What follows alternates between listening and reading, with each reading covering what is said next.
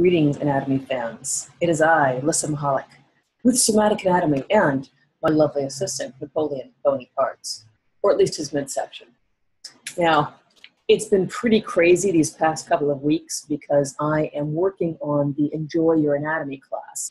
That class is going to start next week, Monday the 10th, and the uh, the shopping cart is closing on Thursday night at midnight. So I suppose technically it's Friday morning, but you know what I mean.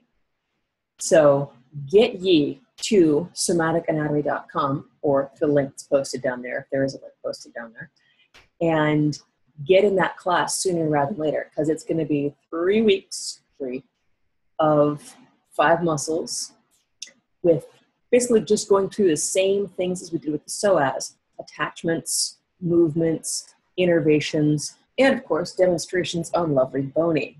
So, because you guys are on the list and you are, you know, you guys are a little bit special.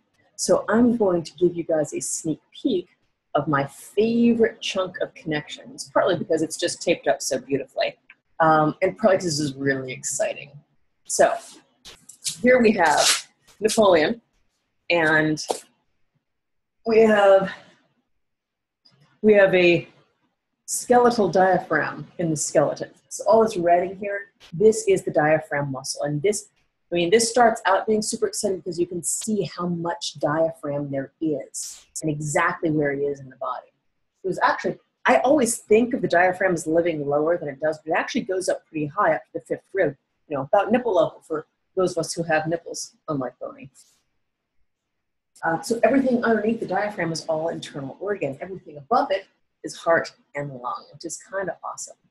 So this is a really interesting connection here. We have down here, you can see this, down here we have the pubococcygeus muscle, which goes from the pubis to the coccyx, and that is,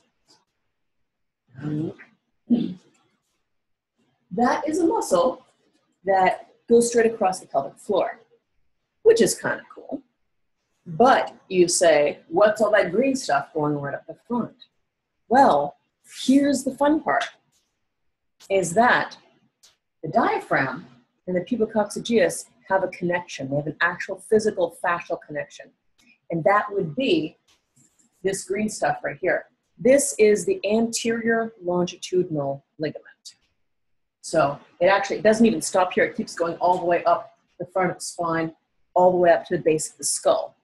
So coats the entire front of the spine. You can see this from the side. It's pretty much just stuck to the front of the spine, just like tape. Because you know what? Sometimes ligaments are kind of like tape, which is cool. So we've got up here with the diaphragm.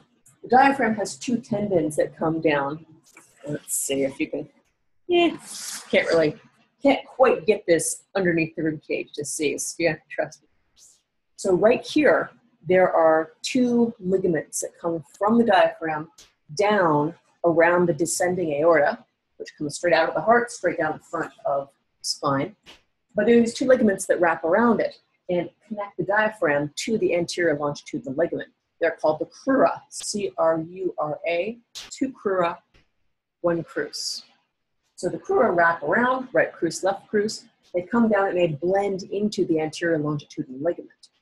Now, that means that basically they have the same pull as the anterior longitudinal ligament. They become part of it.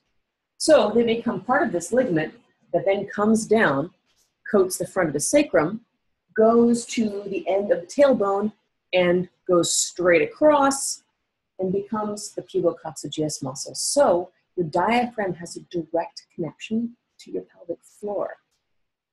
Now, normally when you breathe, if you get into a squatting position, um, what's called the primal squat or the Asian squat, or just plain old child's pose, you can really feel your pelvic floor stretching out.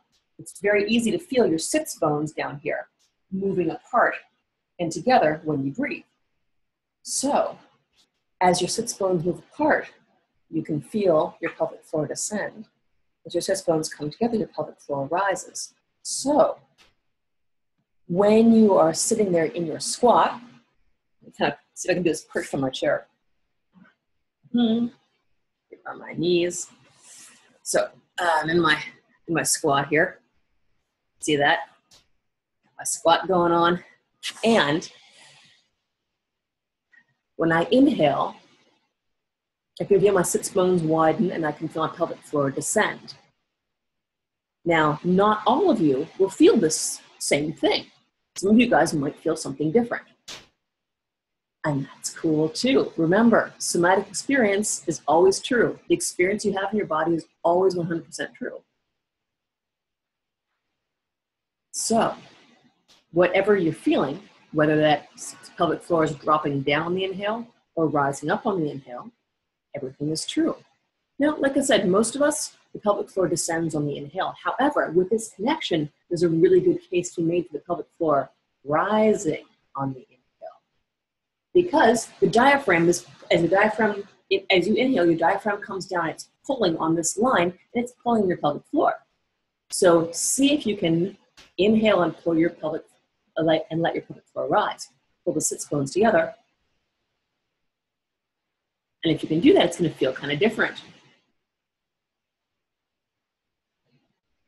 instead of all of your internal organs moving up and down, they're going to get kind of squished out to the side, which is a good thing. If your internal organs are getting squished, it helps it helps all the fluids to circulate in there, which is good. That means all the good stuff comes in, all the bad stuff goes out. So, when you are so when you are breathing, you can think about this connection from the diaphragm all the way down to the coccygeus as one, a thing that happens and it's real, and two, a thing that can change the way you breathe. So there's not one right or wrong way to breathe. If you're not dead, you're breathing pretty well. However, this is giving you options. So enjoy your options and enjoy your anatomy. And join us for the Enjoy Your Anatomy class, but jump on quick because time is passing and it would be sad if you missed it because it would be really good class. Really good class. It's all online. Show it. We have a special Facebook group and everything. Show up in the Facebook group, and uh, I've, I've been working on this all week. I'm really, really excited for you guys to see this stuff. It's so cool. All right, deep breaths. Enjoy your anatomy, and I'll see you online.